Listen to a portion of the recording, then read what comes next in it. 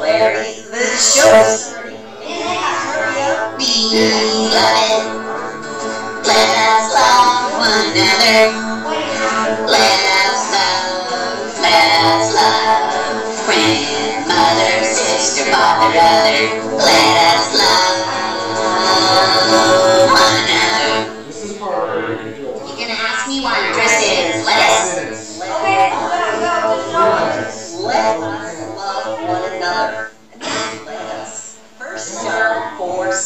7. But if I were a lettuce, I would still love you. Even though you're a tomato.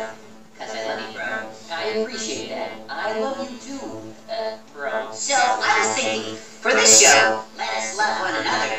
We can show the kids five different ways we can love one another. Oh, okay. Well, I was kind of thinking we could show a few favorite VeggieTales episodes about loving one another.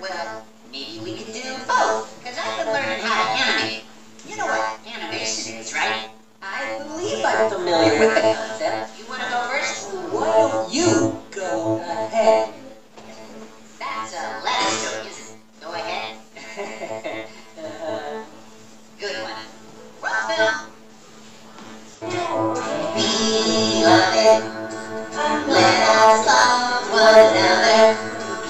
Let us love, let us love. Friend, mother, sister, father, brother. Let us love one another. nice, brother. Thanks, Bob. Those are some of my favorite VeggieTales episodes. Great picks. Thanks, Larry. And nice job on your stories, too.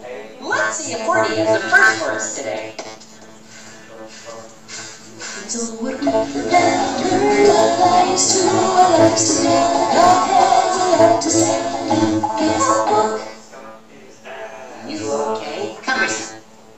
Too cumbersome. The secret that love is forever, now the song is out. Beloved, let us love one another, for love is of God, and everyone that loveth is born of and God. 1 John 4 7. And there are lots of ways we can show love to one another. Helping, forgiving, sharing. Praying for each other, or simply reminding people that you love them by telling them, I love you. Love you too, bro. Because God loves us, He wants us to love others too. Well, that's all the time we have for today. Always remember, God made you special. and He loves you very much.